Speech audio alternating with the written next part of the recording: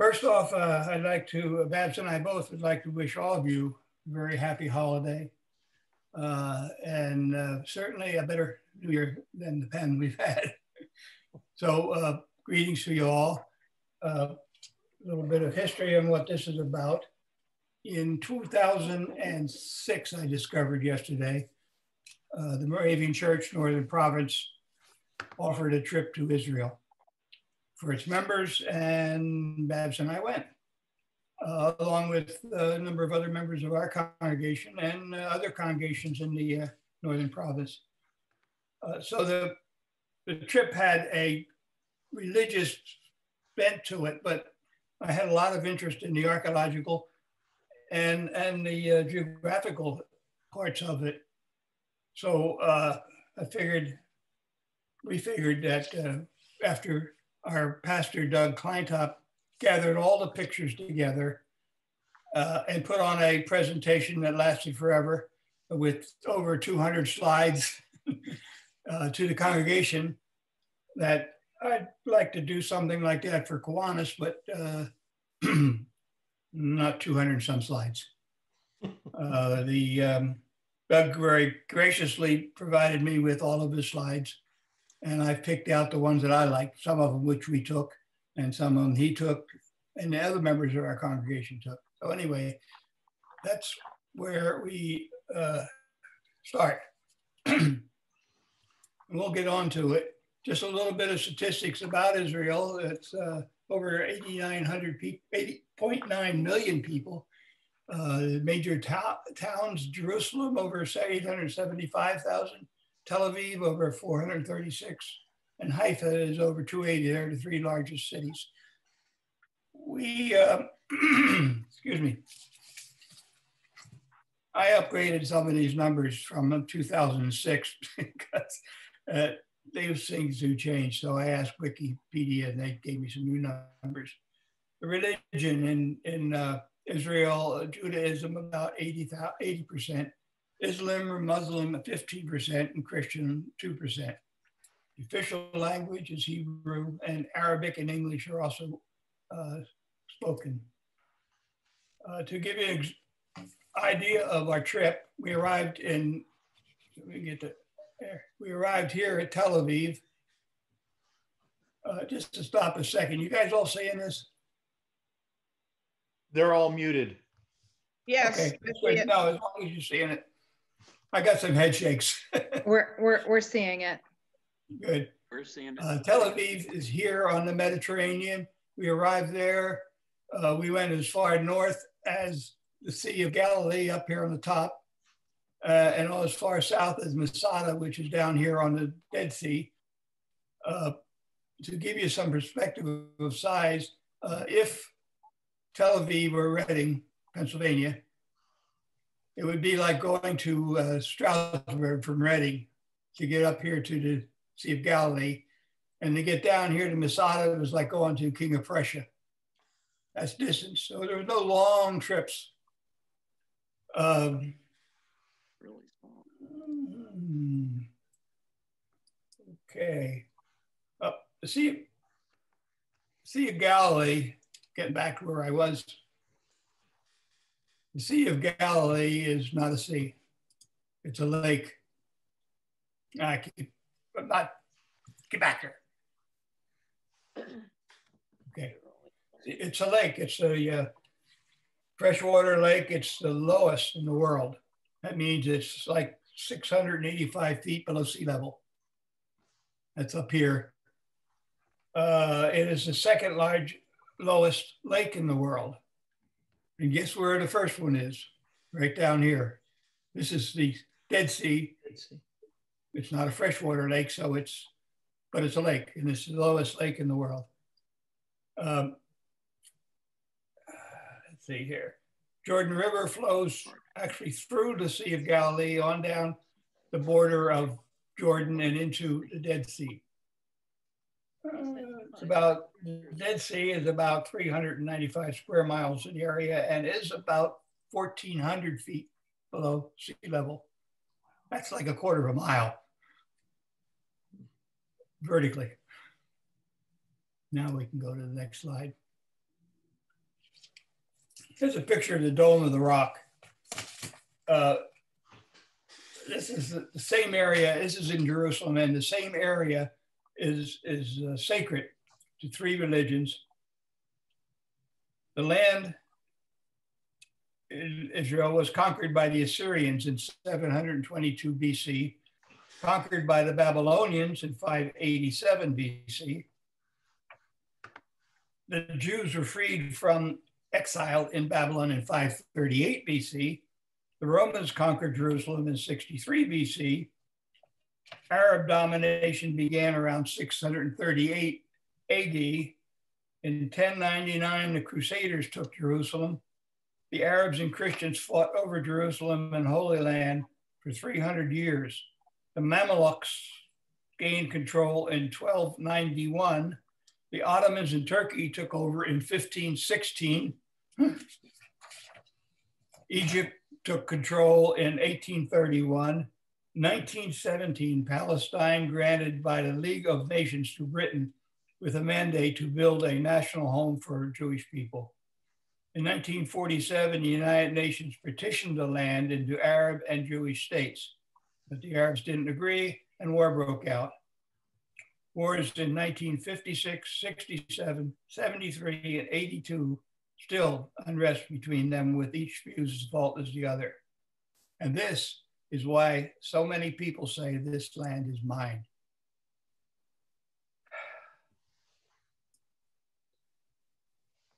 Areas of conflict right now. Obviously, uh, uh, you got the Gaza Strip down here along the Mediterranean. You got the West Bank, which is here in the shaded area. And up here out of the picture is the Golan Heights, all of them we visited. We visited many sites, both from the Old and the New Testament. Some were in Israel controlled land, and others, like Bethlehem, were in Palestinian controlled lands. Okay.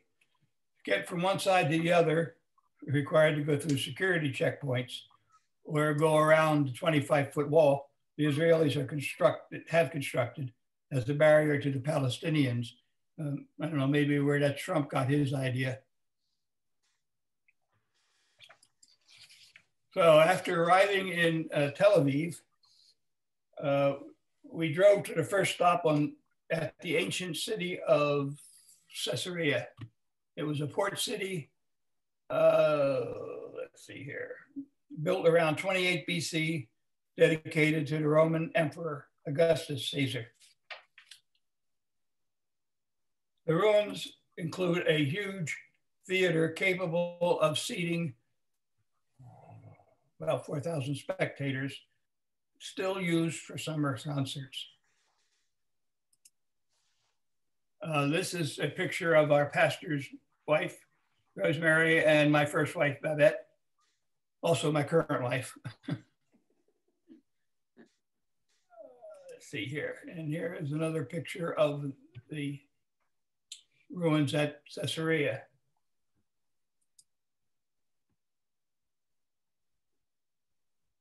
The short way, way you see the site of Herod's, one of Herod's palaces the moat, now this is the palace and some of the excavations of it. Uh, the moat that surrounds the palaces was built by the, uh, uh, during the time of the Crusades.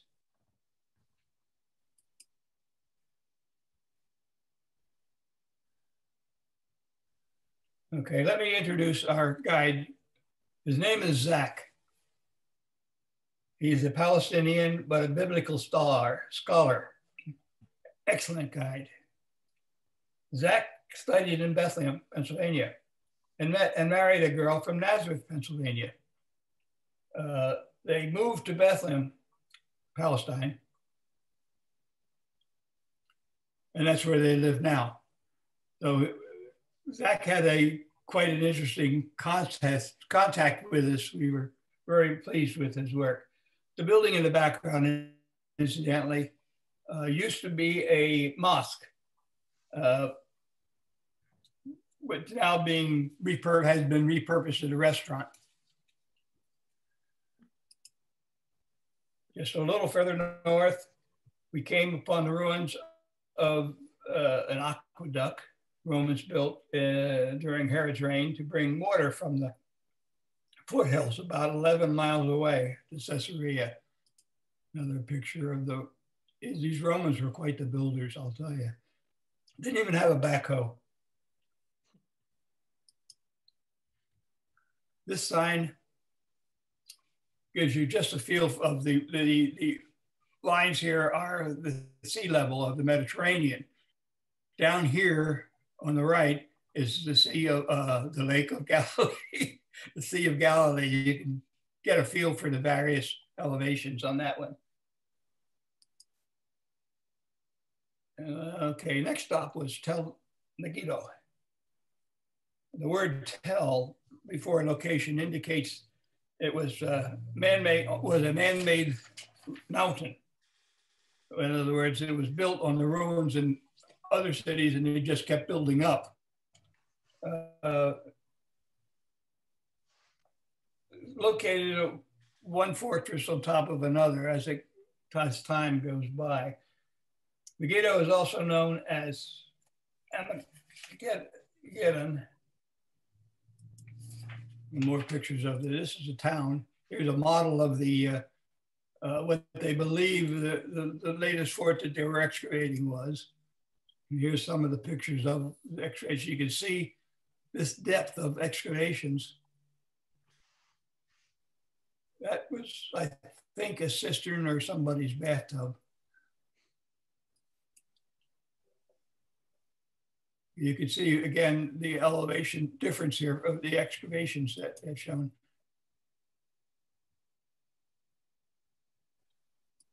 And uh, again, it is amazing how much they've dug and discovered at Megiddo. This is a hole in the ground, actually. Goes down where they had a tunnel that goes to get water.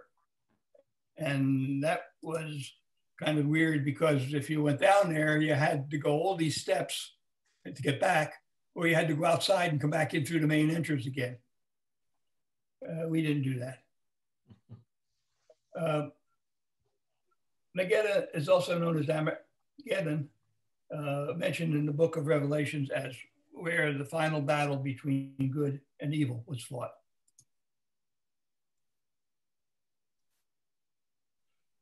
Another stop was Beth Shean. Beth Shean was a uh, ex architectural excavation in, in, an urban environment. Uh, as across the street from the entrance is an urban environment. Uh, let's see here. An amphitheater was built where people would have thrown to wild animals as punishment. That's where the lions got their food from the Christians, I guess. Uh, nearby was it? It's another one of the, the uh, lion place, but then nearby is an amphitheater uh, for plays, and it's used currently used, or at least was back then when we were there. Masada. This is the most fascinating place I think I've ever been. One of the most fascinating uh, Petra falls into that classification also to me. But Masada is uh, a very important site in the history of, of the Jewish nation. It's used as an example of, of the uh, intrepidity, the people of the Jewish people and how they were, well, you'll understand what I'm trying to say when I get to that part of the story here. It was another of the palaces built for uh, Herod. There's no indication at all that he ever spent a day there, but they, they built palaces just for fun. Masada is up here at the top of the picture. This is how you get there. I don't remember doing all those steps, but we must have done them because the bus parking was down at the bottom. Uh, There's a paralift now. I'm sure there was. it's not far from the Dead Sea, and, and you'll see that in a, in a future slide. It was captured in 66 AD by the Jews. Is a model of what it presumably looked like this. I guess they developed from ruins and whatever information they could dig up. After the Romans had crushed the Jewish rebels in Jerusalem, Masada remained the last Jewish stronghold. About a thousand defenders were left in Masada, and they uh, were besieged for over two years uh, by the Romans until uh, finally overtaken in AD 2073, excuse me. To re prevent the, uh, there you can see the Dead Sea back here. To prevent the Jewish people from escaping, these will be pictures of, of the top of the mountain. The Romans built camps around the base of the mountain and uh, built a wall around the mountain. You can see that in this next slide. This is the Roman camp at the base, looked at down from the top of the mountain. Uh, right. To make their attack, the Romans built a earthen wall, a mound ramp to get to on the left here, which is where they could get into the mountaintop fortress without having to go through tiny tunnels where there was no way they could get past the thousand.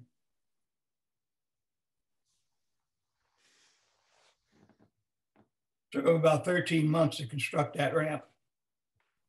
Actually, I have to, I guess, tell you that I, they may have reconstructed this ramp to uh, make a movie, which there is a, a feature film about Masada. There was a film. I remember hearing about it, never saw it. Okay, the defenders decided they would rather be dead than taken into slavery again. So lots were drawn. And these are the actual lots, which each, I guess each soldier drew the lots, each man, and these determine a order that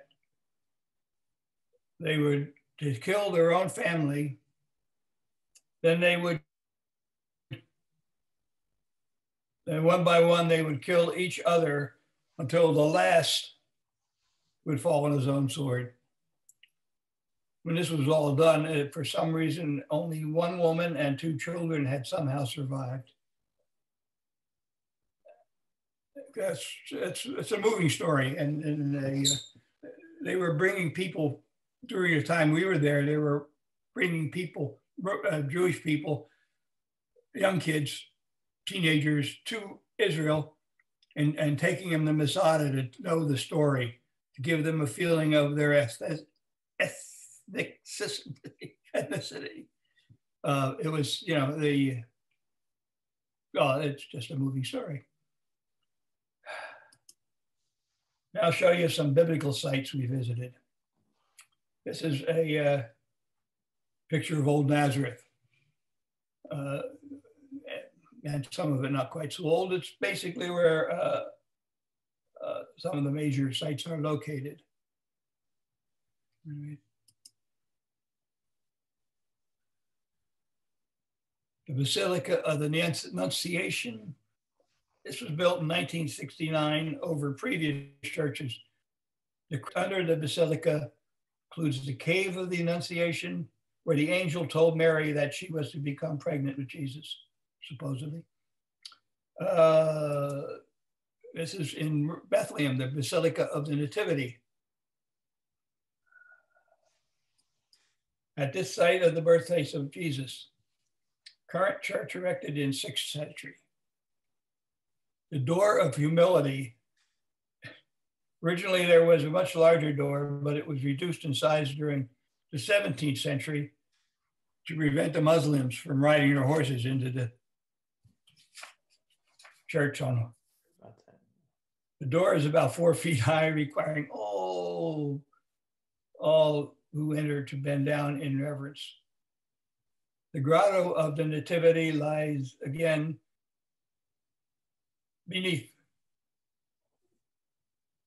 the basilica. This is a mural depicting the birthplace. And showing a representation of the site. Now, the fields of Bethlehem where where the where the shepherds heard the news completely built out with houses and whatnot, malls and usual stuff. Uh, but shepherds still tend their flocks and live in tent villages. Alongside the road, you can see this.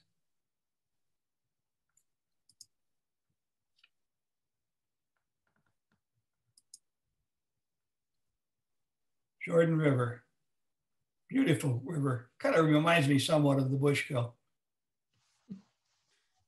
It flows from the Sea of Galilee to the Dead Sea. It's fresh water entirely below sea level, since both ends are out. Famous for baptism of Jesus, John the Baptist, and still being used for that purpose.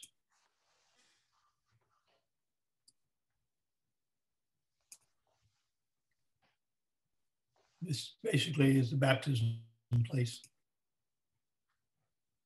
Here's some uh, people preparing to be baptized as we were there. I guess they go with immersion problem or problem immersion method.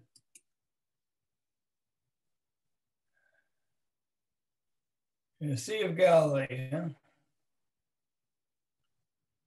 fishermen in Jesus' time fished the sea in boats, like the one this was a covered boat, obviously, it, and it was basically dated to be about the time of Jesus. So there's two pictures of this very old boat.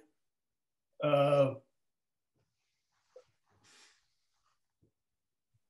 there's a sign that we thought was interesting It said, did was this belong to Jesus and his disciples or to the fighters of the battle or the fishermen of the Sea of Galilee? The fishermen of the Sea of Galilee still fish and this is what we saw in the sea uh, with boats similar. During our tour, we also used a boat. We're on a boat like this one, where we basically sailed the Sea of Galilee. Uh,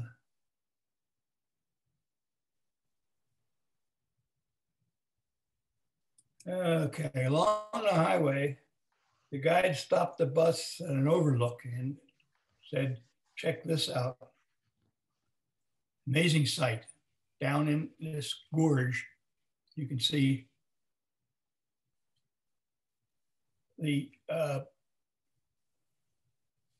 St. George's Monastery.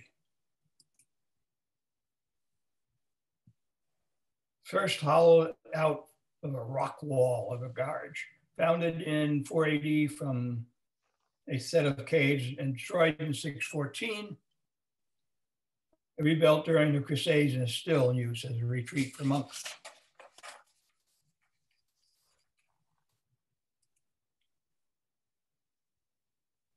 Looks like a pretty nice place hanging on the wall. And then we get to Jerusalem. This is Jerusalem from, this one is Jerusalem from the Mount of Olives. Uh, this is the Wailing Wall.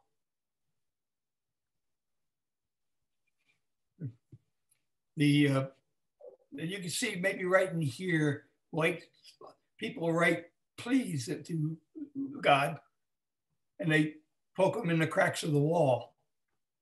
And I'm not sure if that's where that comes from, but I've seen it in other cultures. I noticed in Japan, at the shrine there, they actually hang pleas to their gods on trees, written on paper or whatever, parchment. Uh, notice they're all men. The women have their own places behind us as we're taking this picture. This is a stairway, runs from up a hill to uh, Caiaphas' house, which is where Jesus was taken after his arrest. Uh, we have it on good authority that he walked on those stairs. I guess that they were that old and that's where he lived. This is an interesting church. It's the Church of the Holy Sepulchre. Where Jesus was, I, don't know why, why you say he was crucified there, but it's built on the area where he was supposedly crucified. Uh, he's shared now by the Roman Catholic Church, Greek Orthodox Church, Armenian, Coptic, Syrian, and Ethiopian communities. So this one building is shared by all those.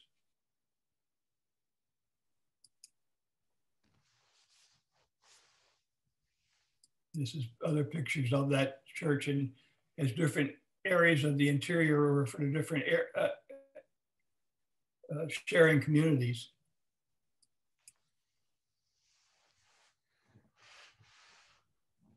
quite ornate in some cases. Ah, okay, we visited the mountains at Qumran. I'm saying that right. Quamran. Many caves there. You can see one.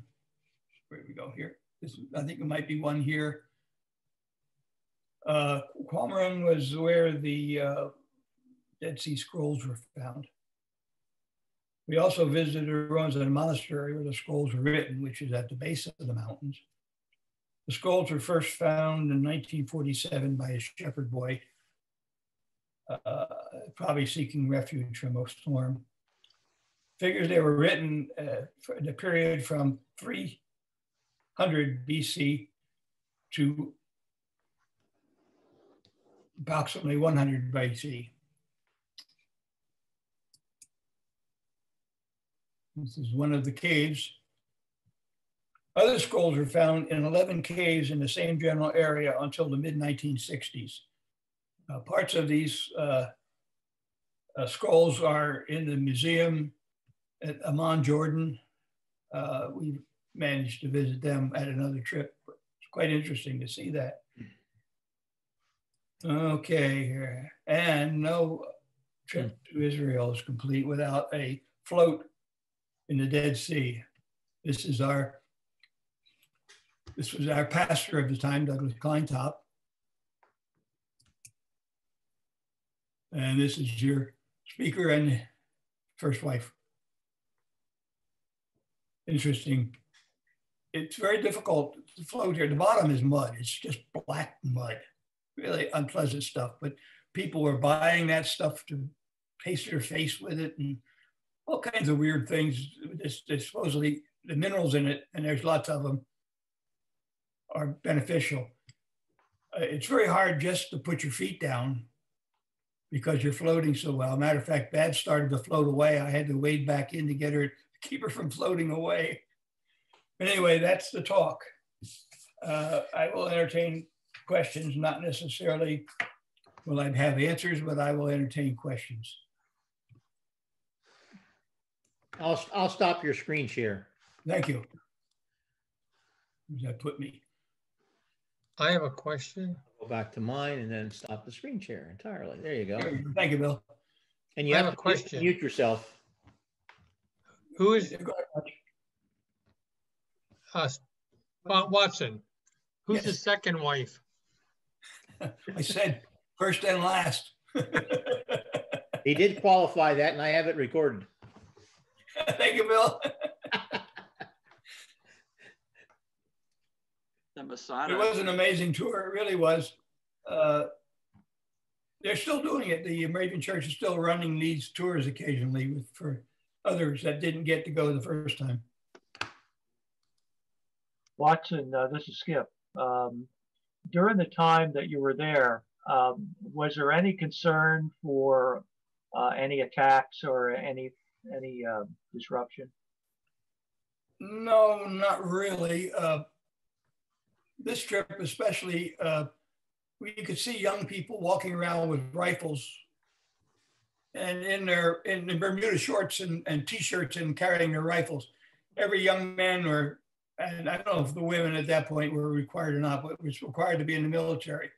And when they were not on duty, they also carried their rifles in case there was some fast acting emergency. Uh, but no, we didn't. Uh, in a pre in a subsequent trip, we were in uh, there and also in Jordan, and we had a guard on the bus with us who carried a, a rifle and so forth. Or a, actually, he carried a yeah automatic rifle. We didn't feel we didn't feel uh, in danger at all. Uh, Watson, did you think that having a Palestinian guide uh, gave you any different insights than you might have had uh, if you had had an Israeli guide? Actually, uh, Zach was a, a, biblical study, so he knew student, I should say, he knew us, knew what we were. He did not give us any uh, arguments or any arguing points to work on. Uh, he and he did not take sides on any of the discussions that were going on even at that time. We couldn't have asked for a better guide. I, I will I will comment uh, that Barb and I and a few others on this chat today uh, did see our pastor Doug at the time with his 200 slides, and um, it was a, it was a great show, but it was a very long show. Oh, Watson, um, you talked about Masada. Uh, Yeah. I did see that movie. I I don't recall when, or I believe it was on television, but I'm not sure. And I will say, I don't think I have ever had a movie have a more deep impact on me than that movie. Uh, it was a was long very- time ago. I've never forgotten it, and it just had such an impact on me. I've never forgotten the story.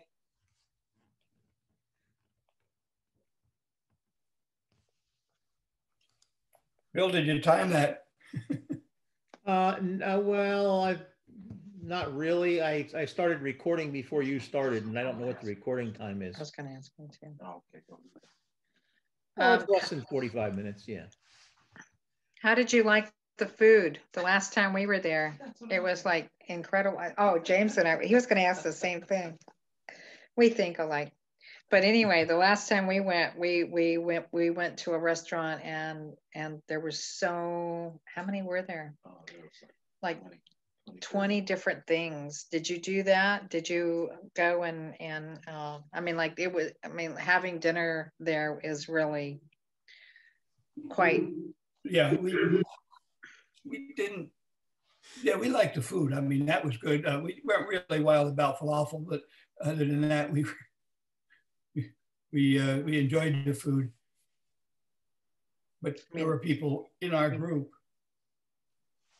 I mean, there was- was there was little bowls of everything, and it was like you know they had the hummus and they had um what else did they have? They had like salads and everything. it was like oh my god.